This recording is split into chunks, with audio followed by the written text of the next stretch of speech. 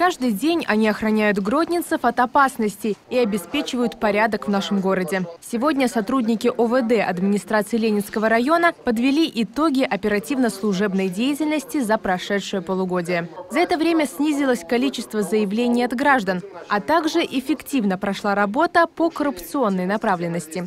Не так остро стоит и ситуация с наркотиками. На это повлияла не только обширная профилактическая работа, но и вступление в силу декрета номер 6 президента Республики Беларусь, в котором ужесточили уголовную ответственность за нелегальный оборот наркотиков.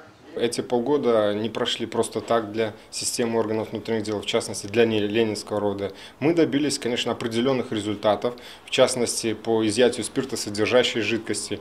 Мы изъяли около 10 тонн нелегальной спиртосодержащей жидкости. Мы хорошо сработали по изъятию товарно-материальных ценностей, которые изъяты гражданским оборотом и на которых нет соответствующих документов, около 7,5 миллиарда рублей. У сотрудников ОВД Ленинского района уже стало традицией благодарить граждан, которые вовремя вызвали милицию и способствовали раскрытию преступлений. Юлия Новогродская, благодаря своему чувству справедливости, помогла милиции поймать преступную группировку. Однажды вечером она возвращалась домой по улице Тавлая и, выходя из магазина, заметила драку. Женщина не смогла безучастно пройти мимо.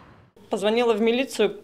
Знаете, я педагог по образованию, и это уже клише, поэтому несправедливость, она, ну, как-то цепляет. И просто вмешалась, думала, что разойдутся, но не разошлись, стали бить ногами в лицо лежащего человека. Очень быстро сработали, задержали тех, кого били, нашли тех, кого, не, тех кто бил, нашли тех, кого били, и оказалось, что просто люди были замечены еще на ограблении с ножом.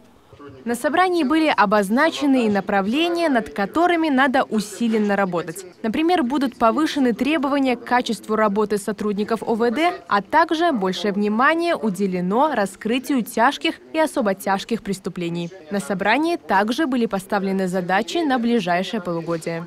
Первой задачей я ставлю это защита экономических интересов э, государства. Поэтому э, отдел АБ будет направлена их э, работа непосредственно на защиту экономических интересов.